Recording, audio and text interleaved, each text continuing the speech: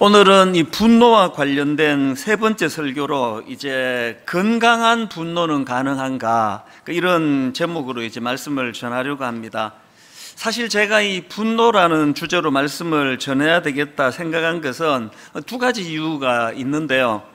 첫째로는 이 현실적인 문제입니다. 지금 우리 사회가 이 분노 사회라고 할 만큼 얼마나 많은 그 분노를 유발시키는 그런 사회인지 모릅니다. 그러다 보니까 이 분노의 문제는 뭐 피할 수 없는 실제적인 우리 삶의 문제이기 때문에 이제 믿는 자로서 신앙인으로서 이 분노의 문제, 이 감정 어떻게 처리해야 되는 것인가 이런 것들을 좀 살펴보고 싶었고요. 그런가 하면은 제가 이 분노와 관련된 설교를 해야 되겠다 생각한 두 번째 이유는 보다 좀 더 근본적인 이유인데요. 이 기독교 역사적으로도 분노의 문제는 큰 주제였기 때문입니다. 기독교 역사에서 1500년 이상 전에 내려오고 있는 일곱 가지 대죄. 아마 이 항목들을 들어보신 분이 많으실 텐데요. 뭐 예를 들면은 교만, 시기, 나태, 탐욕, 탐식, 정욕, 뭐 이런 것들로 이제 일곱 가지 대죄가 구성이 되어 있는데 이 일곱 가지 대죄 목록에 이 분노라는 항목도 들어있다는 사실입니다.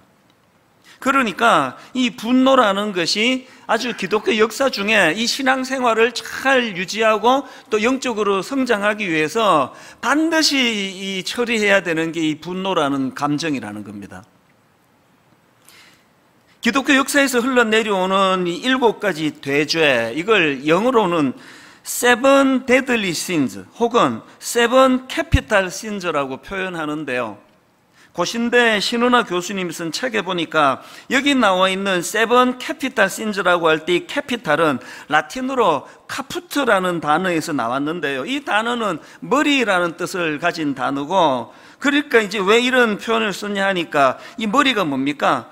어떤 것의 근원, 이것을 이제 드러내기 위하여 이런 표현을 썼다. 그런 글을 제가 읽었고요. 그러니까 이 일곱 가지 머리가 되는 죄, 이런 표현의 의미는 모든 죄의 근원이 되기 때문이다. 그 중에 이 분노라는 감정이 들어있다는 거 아닙니까? seven deadly sins라고 하는 표현도 심각한 것은 마찬가지 아니겠습니까? 이 일곱 가지 죄악은 죽음에 이르게 할 정도로 치명적인 죄라는 그런 뜻을 갖고 있으니까 여러분 우리가 이 분노라는 감정을 잘 다스리는 것이 신앙생활에 얼마나 중요한가를 깨닫게 해주는 그런 내용 아니겠습니까? 그렇기 때문에 우리 내면에 도사리고 있는 이 분노의 감정, 이 문제를 잘 처리하지 않고는 영적인 성숙이나 성장은 없습니다. 이 절대 과언이 아닙니다. 그 제가 이제 오늘을 포함해서 세 번에 걸쳐 이 분노와 관련된 말씀을 이제 전하고 있는데요. 근데 여러분, 여기서 한 가지 주의할 게 있습니다. 이런 설교를 계속 듣다 보면은 자칫 오해하, 기 쉬운 게, 아, 예수 믿는 우리는 막 분노를 무조건 참아야 된다. 무조건 억눌러야 된다. 억제해야 된다. 이렇게 오해하기가 쉽다는 겁니다. 절대 그렇지 않습니다. 여러분 다 아시지만 성경에서 예수님께서 이 분노를 폭발하시는 장면이 뭐 여러 군데 나오지 않습니까? 마태복음 12장 34절에 보니까 막 예수님께서 막 그냥 분을 폭발하십니다. 독사의 자식들아. 너희는 악하니 어떻게 선한 말을 할 수 있겠느냐? 이는 마음에 가득한 것을 입으로 말함이라. 막 읽기만 해도 막 그분의 분노가 느껴지지 않습니까? 사도 바울도 마찬가지예요. 오늘 본문에서 지금 쏟아내는 이 분노의 감정을 포함해 가지고 읽다가 보면은 이 사도 바울도 참 이 분노를 표현하는 대목들이 나오는 것을 다 여러분 아실 것입니다. 제가 종종 예를 드는 구약 인물 다윗도 마찬가지 아닙니까? 자기 힘만 믿고 하나님이 군대를 조롱하고 하나님을 없이 여기는 골리앗에 대하여 사도 바울이 분노를 억제했습니까? 분노를 폭발시킨 거 아닙니까? 어디 너 같은 것이 감히 여호와 하나님의 군대를 모독하느냐고 그렇게 악한 것에 대한 그 분노의 발산이 그 어린애가 골리앗을 물리치는 에너지, 능력이 그 분노에서부터 공급되는 거 아니겠습니까? 그렇기 때문에 우리는 늘 이런 생각을 해야 됩니다. 하나님이 기뻐하지 않는 또 성령님에 의해 통제되지 않는 악한 분노는 늘 그것을 물리치려고 애를 쓸 뿐만 아니라 그것과 동시에 정말로 필요한 선한 분노, 건강한 분노는 반드시 필요하다. 그런 분노는 절대 억제하면 안 된다. 그러니까 이런 내용들을 이제 오늘 제가 좀 다루고 싶은 겁니다. 근데 여러분, 이렇게 건강한 분노는 잘 드러내는 것이 중요하다는 말씀을 전하는 이 시점에서 우리 모두가 다 꼭 기억해야 될 게 하나 있는데요. 우리가 이렇게 그 선한 분노, 건강한 분노를 드러내는 것이 중요하다 할 때 우리가 가지고 있는 이 죄성으로 인한 약점이 있다는 꼭 기억해야 된다는 겁니다. 어떤 약점이 있습니까? 많이 있지만 제가 한 두 가지로 정리해 봤는데요. 우리가 이 거룩한 분노를 드러내기에 치명적인 약점이 뭐냐면 죄성을 가진 우리는 우리 판단력이 정확하지 않다는 거예요. 늘 그 인식해야 됩니다. 마태복음 26장 7절에 보면은 한 여자가 매우 귀한 향유 한 옥합을 가지고 나와서 식사하시는 예수의 머리에 부으니 이 내용 다 아실 거예요. 그런데 문제는 이 향유 한 옥합이 어마어마한 고가라는 거예요. 그냥 막 몇만 원 주고 산다면은 막 머리에도 붙고 발에도 붙고 뭐 그거 다 사랑의 표현인데 뭐 제가 본 어떤 자료에는 이게 뭐 요즘으로 치면 한 한 뭐한 이한 2천만 원, 천만 원, 2천만 원 되는 큰 금액이라는 겁니다. 아니 이걸 머리에다 갖다 부으니까 모든 사람들이 보기에 이건 좀 과한 거 아닙니까?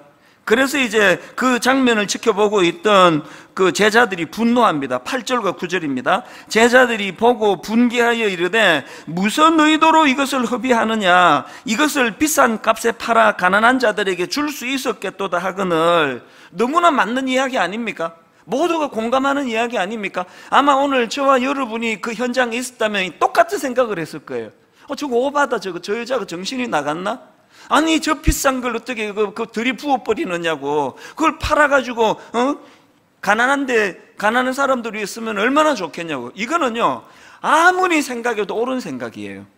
그게 조금의 잘못된 생각 없습니다. 그런데 놀랍게도 주님은 다르게 바라보고 있다는 겁니다 그렇게 분노하는 제자들에 대하여 10절에서 예수님이 이렇게 말씀하십니다. 예수께서 아시고 그들에게 이르시되 너희가 어찌하여 이 여자를 괴롭게 하느냐 그가 내게 좋은 일을 하였느니라 뭐 이것에 대한 깊은 분석이 없어도요 뭘 딱 깨달아야 됩니까?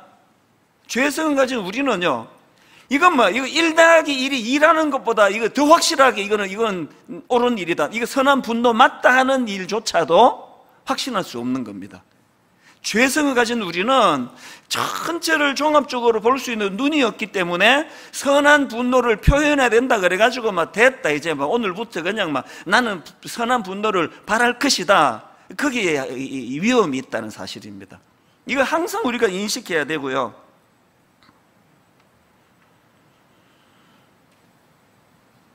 그런가 하면은 또 한 가지 이 거룩한 분노와 관련해서 두 번째로 기억해야 되는 건 뭐냐 하면은 우리 내면에는 그 치유되지 못한 성인아이의 모습이 도사리고 있기 때문에 그 출발이 아무리 건강한 분노라는 확신으로 시작했다 할지라도 이것이 내 안에 있는 그 상처 때문에 항상 부정적인 결과로 열매 맺을 위험이 있다는 걸 인식해야 된다는 겁니다.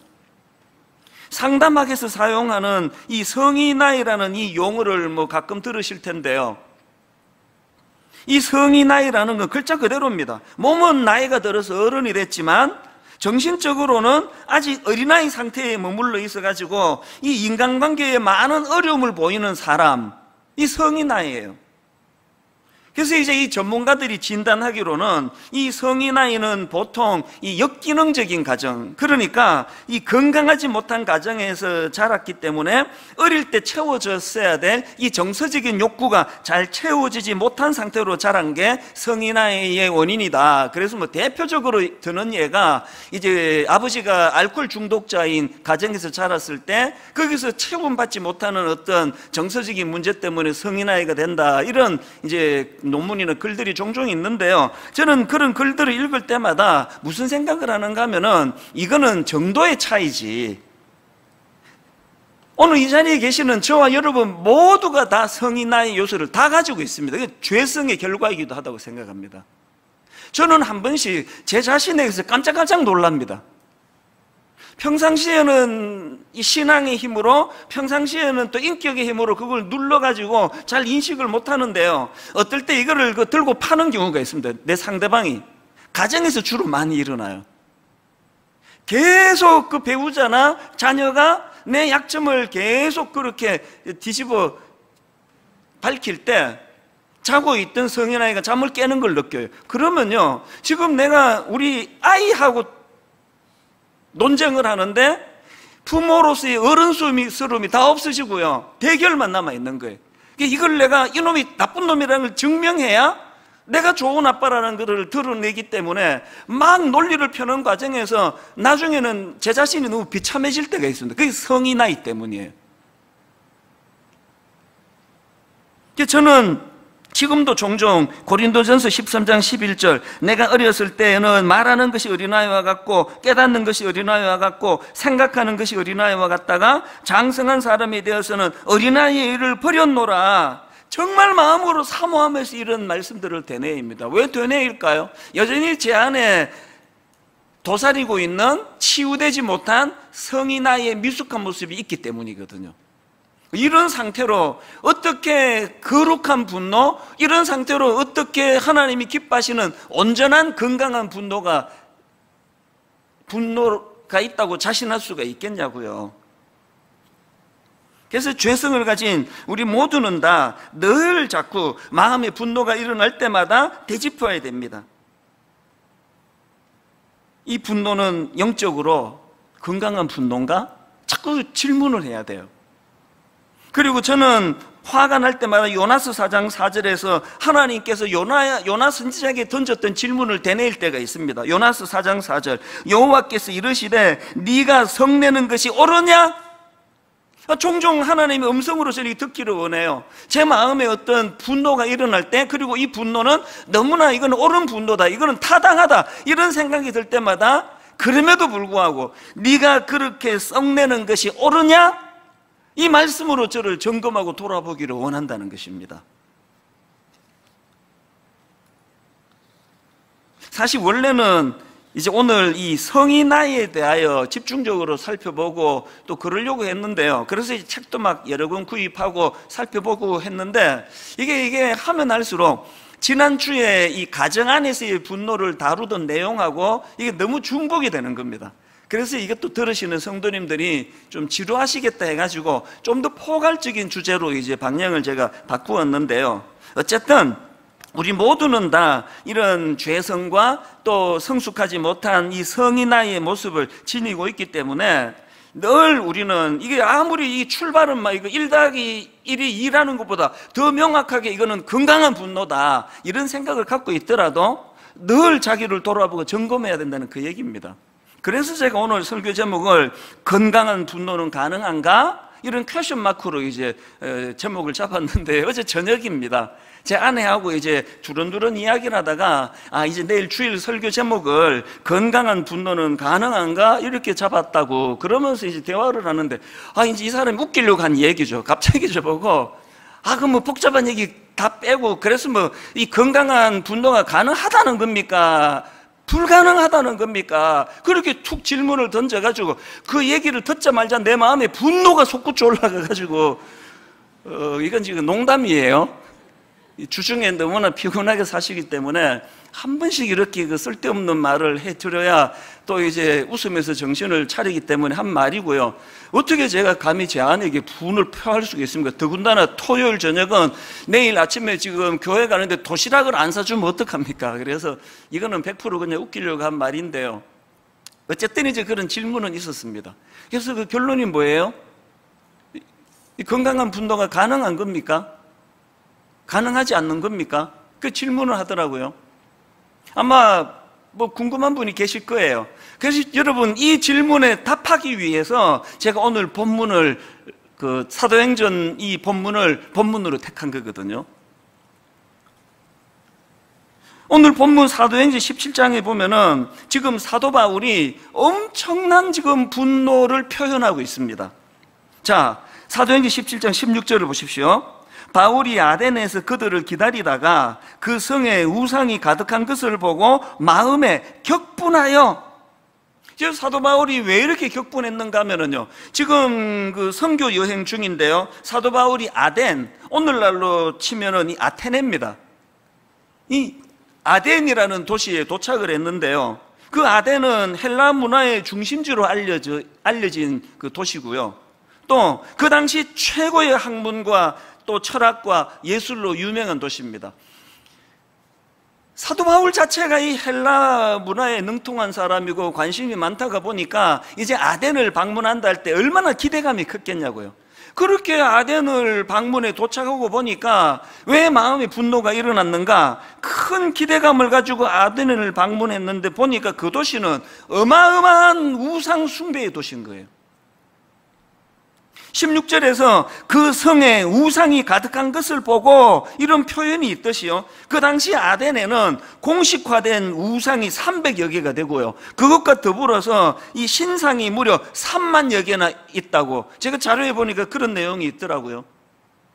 막 그야말로 막 온 도시가 이 우상으로 가득 차 있는 그런 상황이니까 사도 바울이 이제 그거를 보고 지금 음, 분노하는 거예요. 굉장히 마음에 분노가 일어났습니다. 그런데 여러분, 이 본문에 나오는 사도 바울의 분노와 관련해서 우리가 주목해야 되는 게 하나 있는데요. 16절을 다시 한번 보시겠습니까? 바울이 아덴에서 그들을 기다리다가 그 성에 우상이 가득한 것을 보고 마음에 격분하여 우리말 성경에는 그냥 마음에 격분하여 이렇게 되어 있는데요. 여기 나와 있는 이 격분하여 이거 헬라어로 파록시노라는 단어입니다. 이 파록시노라는 단어가 신약에 딱 두 번 등장하는데요. 한 번은 오늘 본문 사도행전 17장에 등장하고요. 또 한 번은 사랑장으로 유명한 고린도전서 13장에 등장합니다. 13장 5절을 보세요. 고린도전서 물에 행하지 아니하며 자기의 유익을 구하지 아니하며 성내지 아니하며 여기 성내지 아니하며 할때 성내다가 이게 오늘 본문에 나오는 파록신호예요. 이 모순 아닙니까? 아니 지금 사도 바울이 고린도, 고린도전서 13장에서는 사랑의 특징은 성내지 않는 거라고 말해놓고는 정작 본인은 지금 복음 전하는 현장에서 이 파록신호 지금 격분을 하고 있는 그런 상황이거든요. 성경은 말 따로 행동 따로 뭐, 뭐 이런 게 뭐 용인이 되는 책입니까? 이 엄청난 모순 같은데요.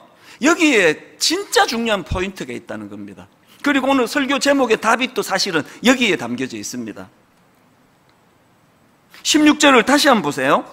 바울이 아덴에서 그들을 기다리다가 그 성에 우상이 가득한 것을 보고 마음에 격분하여 여기 나오는 마음에 격분하여 이 헬라어로 보면은요 그의 안에 있는 그의 영 이렇게 직역, 직역할 수가 있는데 아쉽게도 우리말 성경에는 이 그의 영이라는 표현이 생략돼 버렸습니다. 이게 딱 읽으면 바울이 지금 격분한 것처럼 그렇게 느끼게 하는데요. 이게 그게 아닙니다. 그의 안에 있는 그의 영. 그러니까 지금 사도 바울의 분노의 주체는 자기 혈기가 아니에요. 사도 바울의 분노의 주체는 그의 영. 다시 말해서 바울 안에 계시는 성령님이십니다.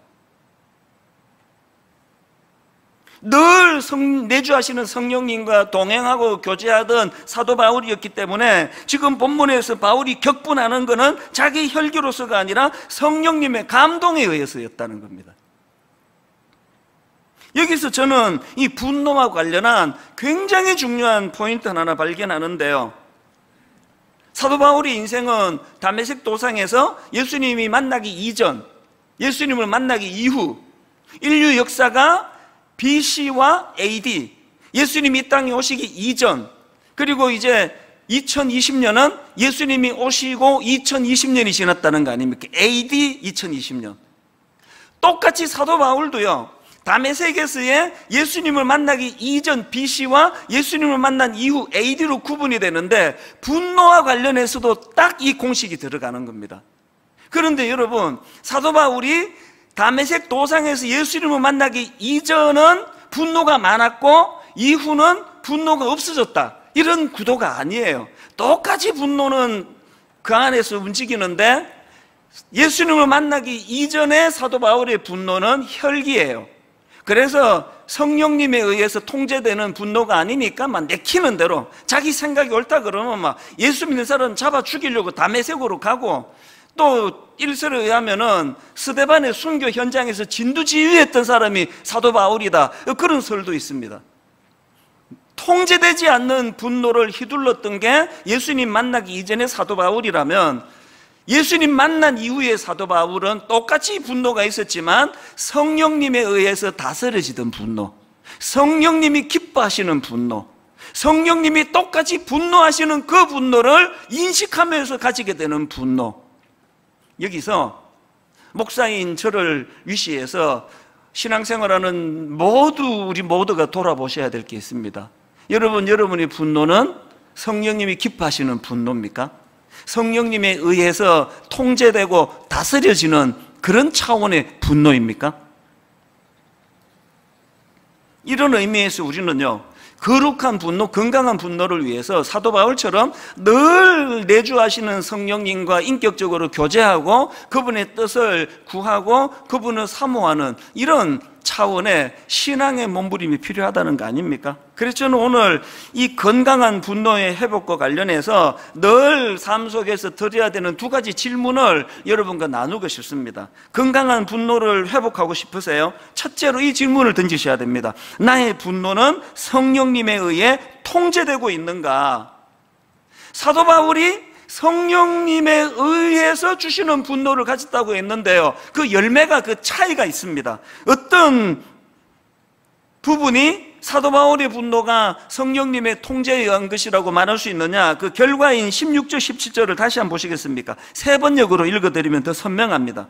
바울은 아테네에서 그들을 기다리고 있는 동안에 온 도시가 우상으로 가득 차 있는 것을 보고 격분하였다. 그 다음에 그래서 성령에 의한 격분. 그래서 바울은 회당에서는 유대 사람들과 이방 사람 예배자들과 더불어 토론을 벌였고 또한 광장에서는 만나는 사람들과 날마다 토론을 하였다. 여러분 요즘에 그 분노 조절 장애라는 이런 표현을 가끔 듣지 않습니까? 차 몰고 가다가 누가 싹 끼어들면은 똑같이 화가 나요. 저도 화, 화나고 여러분 다 화를 납니다. 그런데 어떤 사람은 이, 이, 이 분노가 조절이 잘 안 되니까 빨간불에 갑자기 내려가지고 막 방망이 들고 상대방 유리문을 깨고 협박하고 이 분노 조절 장애거든요. 사도 바울이 그 일으키고 있는 분노가 자기 어떤 저급한 본능 욕구가 아니라 성령의 인도하심으로부터 왔다는 것을 증명할 수 있는 게 뭡니까? 지금 사도 바울이 그 아덴이라는 도시의 우상을 보고 격분해 가지고 혈기로 막 그것들을 때려 부시고 그 사람을 막 그 만든 사람을 폭행하고 이렇게 흐르는 게 아니고 토론하는 거예요. 주의 복음을 전하는 겁니다.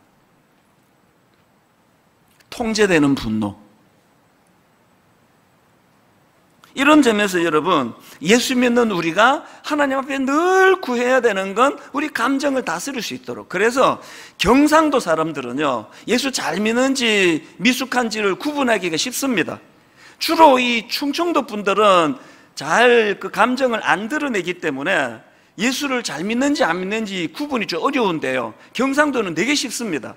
막 이렇게 웃고 어릴 때부터 또 감정은 표현하는 거로 배웠기 때문에 우리는 절대로 그 참는 경우가 별로 없습니다. 그래서 대화를 하다가 보면은 어 이분이 성숙하네 확 느껴지는 분이 계셔요. 경상도 분들 중에. 그 굉장히 이분이 다혈질인 걸 아는데 대화 속에 절제가 느껴지고 감정이 통제가 되고 다스려지고 언어가 순화되고 이런 거 보면은 어 이분이 상당한 경지의 신앙인이네. 뭐 아무리 뭐 예수 오래 믿고 뭐, 뭐 목사라 장로라 해도요 그 언어가 통제가 안 되고 감정이 다스려지지 않으면 이거는 하나님께 매달려 더 기도해야 될 상황이에요 솔직히 뭐 제가 경상도 사람이니까 자꾸 경상도 경상도 하지만 우리나라에서 다일질 아닌 사람이 누가 있습니까?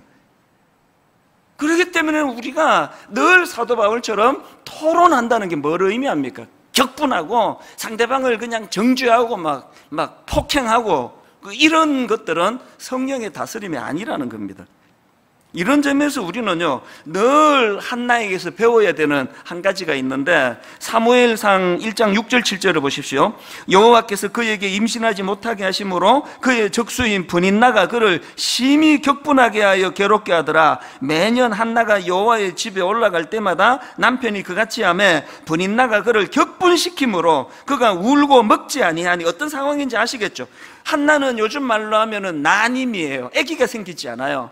이것도 괴로워 죽겠는데 그 연적인 번인나가 그걸 가지고 막 계속 괴롭히는 거예요. 뭐 어떻게 괴롭혔는지는 모르겠지만 조롱을 했는지 비웃었는지 그래서 막 이 여인이 한나라는 여인이 못 견디는 겁니다. 그래서 마음에 막 격분이 올라오는데요. 이런 분노를 무엇으로 연결을 시킵니까? 한나는 바로 그 다음 10절을 보십시오. 한나가 마음이 괴로워서 여호와께 기도하고 통곡하며 이게 한나의 위대함이에요.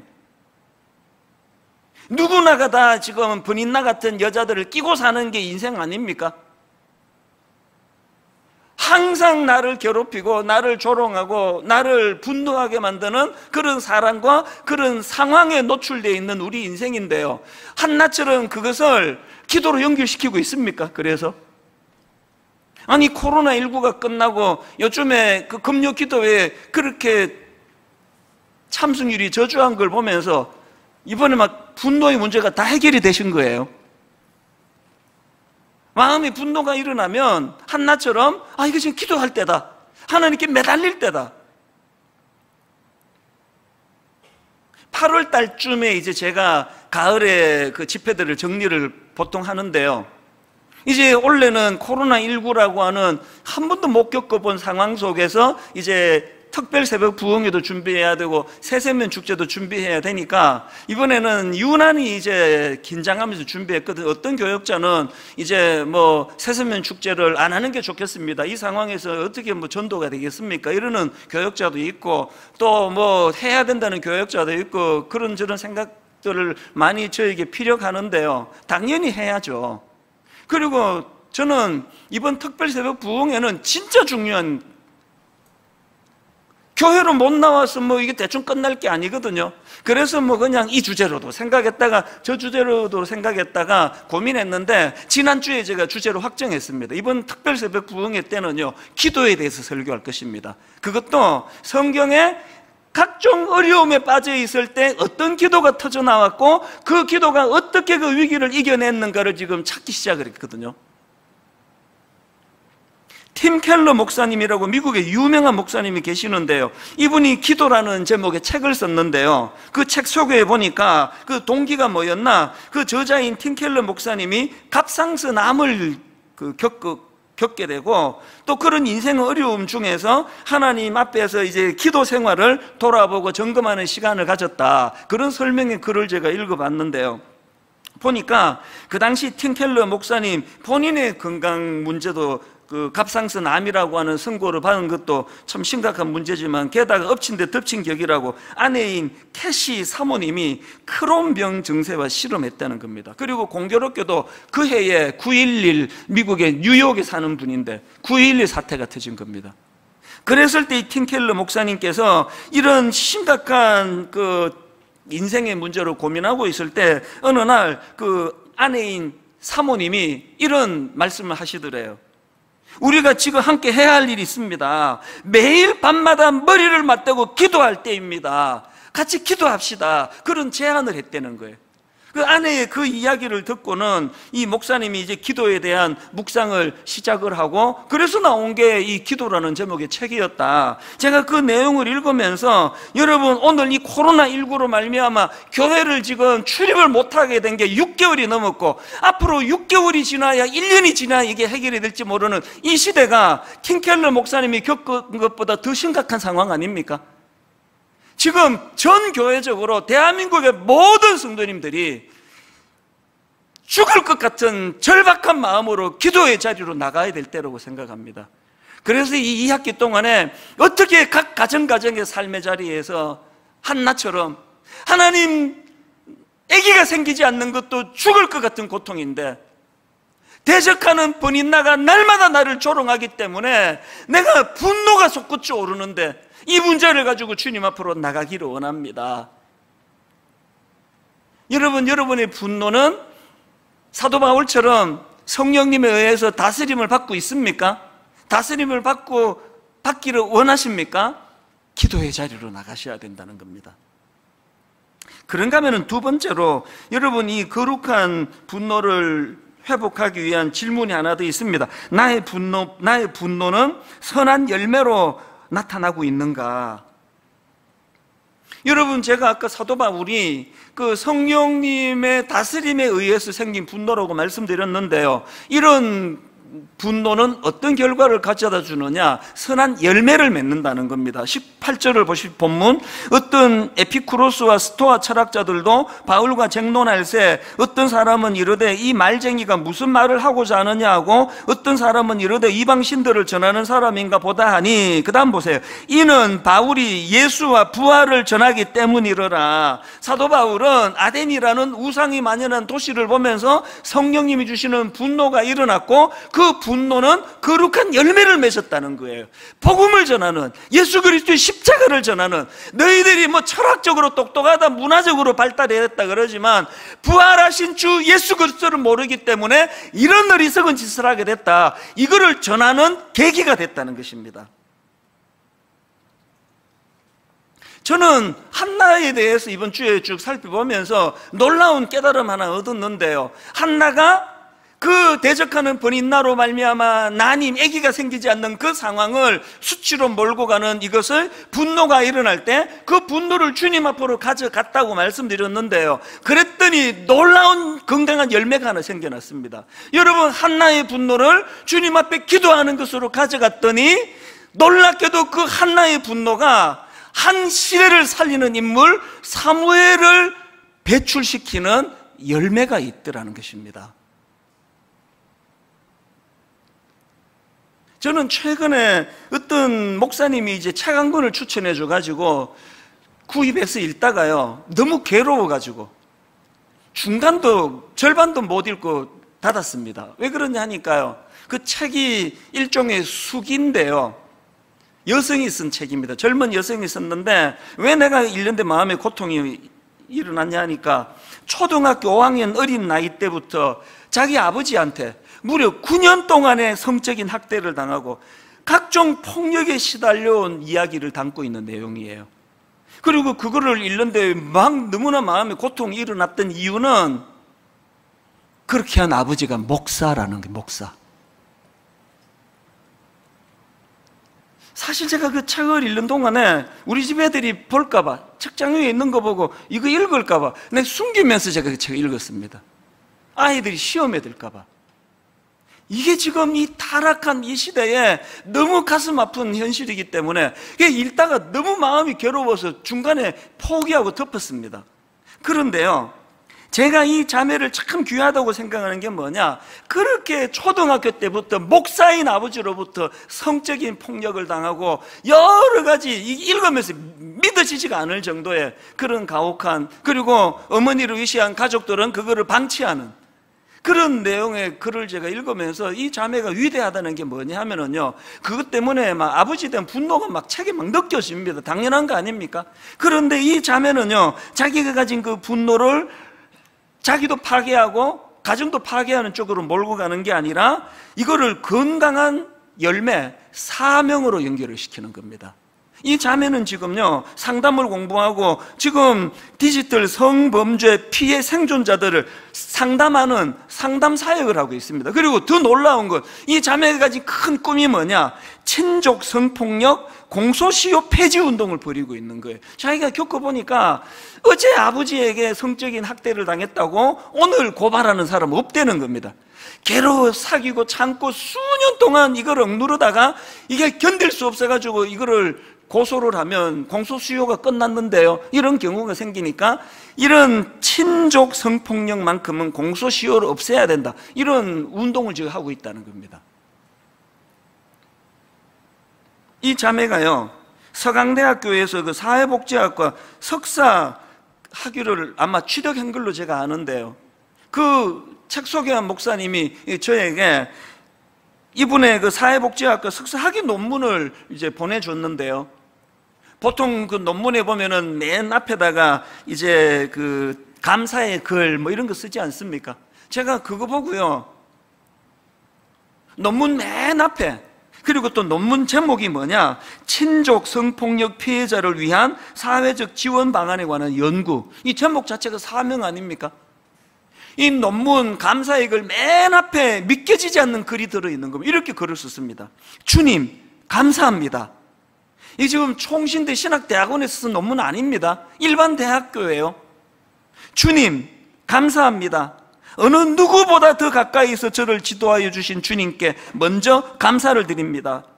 주님이 저와 함께 하셔서 지금의 제가 있을 수 있었습니다. 그리고는 쭉 보니까 이제 교회 공동체에서의 만난 분들이 뭐 대부분인 것 같아, 제 느낌에. 내가 이분에게도 감사하고, 내가 너무너무 힘들 때 저분이 이렇게 도와줬고, 이 교회라고 생각을 합니다. 그 책 제목이요. 눈물도 빛을 만나면 반짝인다. 이것만큼 복음을 함축적으로 소개한 제목이 또 있겠습니까? 내버려두면 아버지를 향한 분노가 내버려두면 아버지를 향한 복수심이 이 젊은 한 인생을 파괴시킬 수밖에 없는 그런 상처로 가득 차 있는 이 자매인데 눈물도 빛을 만나면 반짝인다. 그 빛은 주님이 늘 내가 빛이라 그러시는 거 아닙니까? 교회가 어떤 곳이어야 될까요? 빛 대신 주님을 만나는 곳이에요. 교회는 이 빛 대신 주님을 만나는 곳일 뿐만 아니라 이 여성 주변에 있는 신앙 공동체에 있던 사람들처럼 이 자매를 진심으로 위해주고 사랑하고 품어주고 극률이 여기고 오늘 예배 드리는 이 자리에 울분이 없이 상처 없이 앉아있는 분 몇 분이나 되십니까? 목회자들도 마찬가지예요. 오늘 이 시대에 목사로 살아가는 건요, 그 자체가 울분입니다. 그 자체가 분노입니다.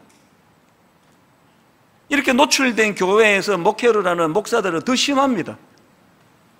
단 한 주도 그냥 넘어가는 날이 없이 이렇게 시비를 걸고 저렇게 문제를 삼고 거기에 태반은 가짜 없는 것 만들어 가지고 조롱거리로 만드는 이런 일들을 겪어가고 있는데 저는 이런 것들 때문에 상처받지 않습니다. 상처받아도 바로바로 회복이 됩니다. 왜 그렇습니까? 내 안에 성령님이 계시기 때문입니다. 그리고 저는 이 자매만큼은 아니라도 아버지 내 안에 분노가 사명이 되게 하여 주시기 원합니다. 아직까지도 이 목회 때려쳐야 되겠다. 그만둬야 되겠다. 이런 충동적인 생각은 불쑥불쑥 떠오르지만 거기에 지배를 당한 적은 없습니다. 왜 그렇습니까? 또 이 자매에게서 내가 배우는 게 뭡니까? 오늘 여러분이 어릴 때부터 지금까지 받았던 크고 작은 상처, 그 상처로 인한 분노, 또 한나처럼 그 분인나 같은 이상한 사람을 만나 집요하게 집요하게 분노를 유발시키는 그 상황을 어떻게 한다고요? 기도로 주님 앞으로 나가는 도구로 삼을 수 있다는 겁니다. 그리고 이 눈물이, 이 상처가 과거에 경험했던 돌이킬 수 없었던 분노의 상황이 내 남은 인생의 사명으로 이것을 바꾸어 줄 수 있다. 그래서 한나의 난임이 한나의 격동하는 불인나의 그 조롱이 한 시대를 살리는 사무엘 인물 사무엘을 배출시키는 도구가 되었다는 이 사실을 오늘 꼭 기억하시고 그 일을 가능하게 하시는 성령님을 의지하는 믿음의 성도님들 되시기를 바랍니다. 이 일을 위해서 우리 이 찬양을 꼭 기억하셔야 됩니다. 마음이 상한 자를 고치시는 주님. 이절에 보니까 성령으로 채우사 주님 보게 하소서. 주의 임재 속에 은혜 알게 하소서. 오늘 각자에게 주신 성령님의 은혜를 붙잡고 이 찬양하는 가운데 우리 내면의 상처와 분노가 치유되는 은혜의 사건을 경험하게 되시기를 바랍니다. 우리 같이 이 찬양 불러보시겠습니다. 마음이 상한 자를 고치시는 주님 하늘의 아버지 날 주관하소서 사모합니다. 주의 길로 인도하사. 자유케 하소서. 새 일을 행하사. 부흥케 하소서. 목마름으로 찬양합니다. 의에 줄이고 목이 마르니. 성령의 기름 부으소서 의에 줄이고 목이 마르니.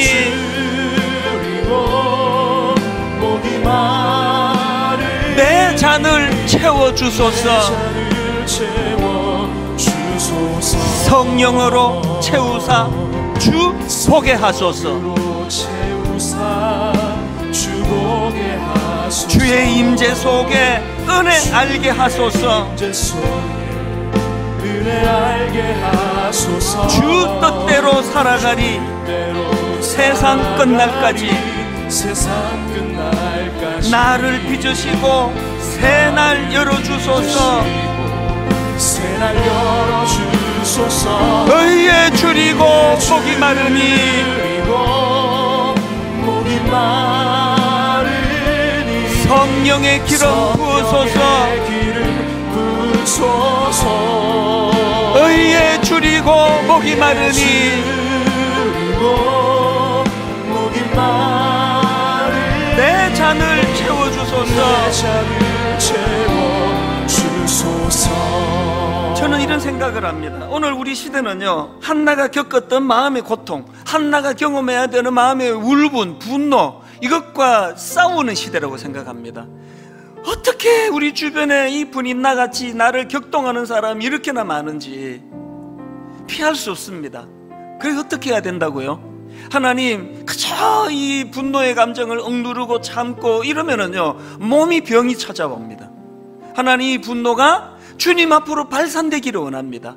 이 분노가 틴켈러 목사님이 고백했던 것처럼 그 임파스남 선고를 받고 아내가 무슨 병에 걸리고 9.11 테러가 나는 그런 절박한 상황이 오히려 하나님 앞에 기도에 대하여 관심을 갖게 만드는 재료가 되고 도구가 되었다면 그리고 하나님 한나의 울분이 한나의 분노가 하나님 앞으로 나아가는 도구가 된, 된 것이 한 시대를 이렇게 세우는 위대한 아들 사무엘을 배출하는 재료가 되었다면 어릴 때부터 저는 유난히 상처가 많습니다.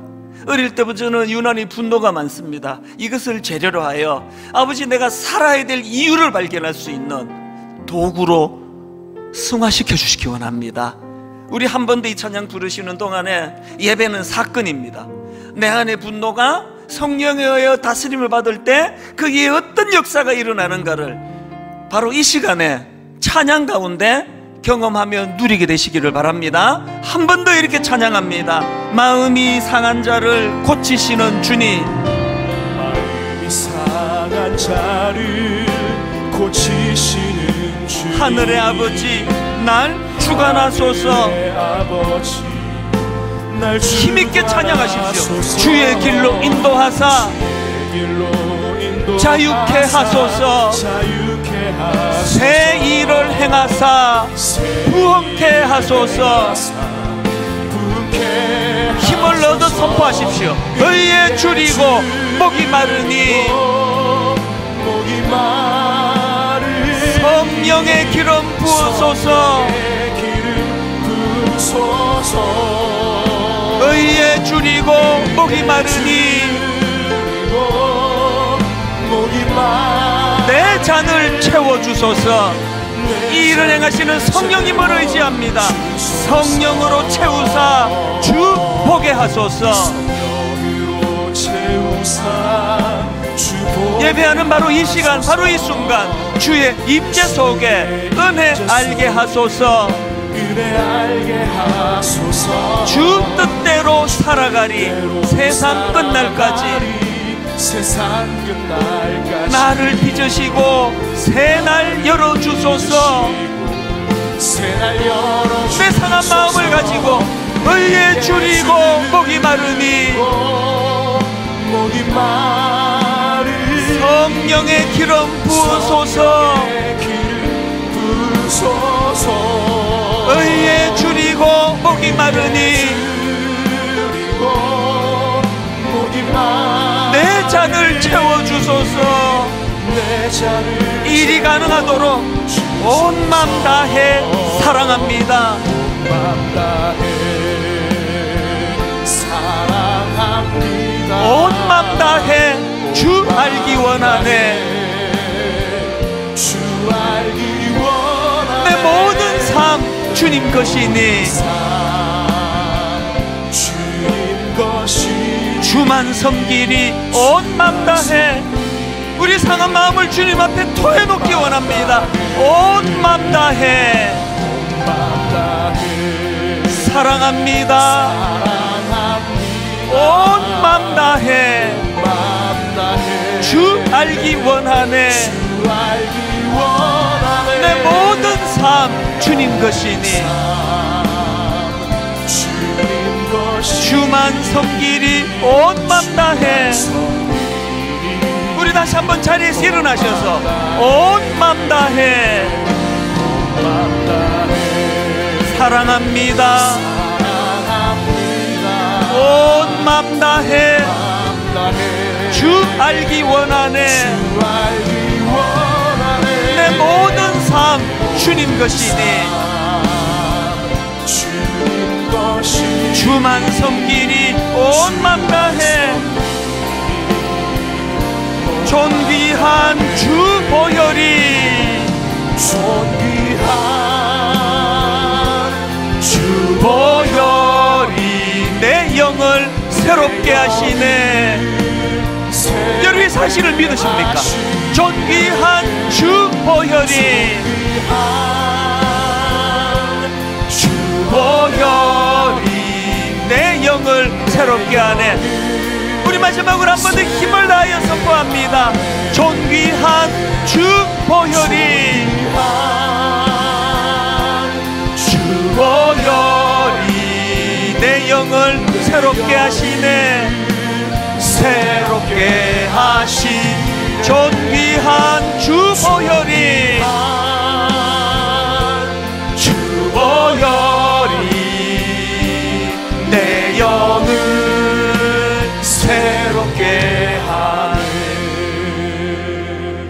존귀한 주님의 보혈을 의지하여 두 가지로 기도합니다 하나님 어린 시절에 이미 받아버린 내 마음의 상처 그로 인하여 일어난 분노 이것을 없앨 수는 없지만 하나님 이 분노가 하나님 앞으로 나아가는 기도로 나아가는 도구가 되게 하여 주시옵소서.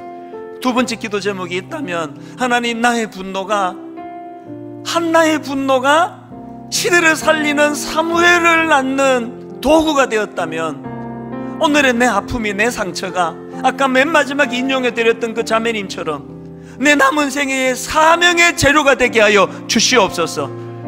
내 상처가 울분과 분노로 나도 파괴하고 주변을 파괴하는 것이 아니라 하나님 이것이 생명을 살리는 사명으로 성화되게 하여 주시옵소서. 각자에게 주신 은혜를 따라 우리 한 목소리로 통성으로 같이 기도하시겠습니다. 살아계신 하나님 아버지 하나님의 은혜를 사모하며 갈망하며 함께 예배합니다. 오늘 아버지 예배 가운데 우리 내면에 고사리고 있는 어린 시절에 받았던 상처가 있고 분노가 있음을 다시 한번 자각합니다.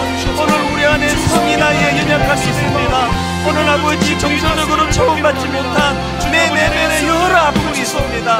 하나님 아버지 우리는 이것이 주님 앞에 기도로 나아가는 재료가 될 줄로 믿습니다. 한나처럼 내 상한 마음을 가지고 사람을 찾아가 소리나는 내 상한 마음을 가지고 아버지 하나님을 찾아 부르짖는 도구가 되게 하여 주시옵소서. 하나님 아버지 내 안에 이 분노가 하나님 아버지 앞에 건강한 열매를 만들어내는 재료가 되게 하시고 도구가 되게 하여 주시옵소서. 하나님 만연해 있는 오늘 이 시대신 분노 이 분노 사회라 일컫는 이 가슴 아픈 시대를 살아가는 우리 모든 성도님들 내면에 하나님 이것을 피할 수가 없다면 맞상대하기를 원합니다. 싸워 승리하기를 원합니다. 그 과정에서 성령님의 뜻을 구하오니 성령님 은혜로 인도하여 주시옵소서 우리 내면에 온전히 주님을 신뢰하고 그 뼈의 주님 앞으로 나아가는 자들에게 주시는 회복과 치유와 온전한 강한 분노가 건강한 분노로 바뀌어지는 은혜를 사건을 경험케 하여 주시옵소서. 주님으로 그 길로 인도하여 주시옵소서.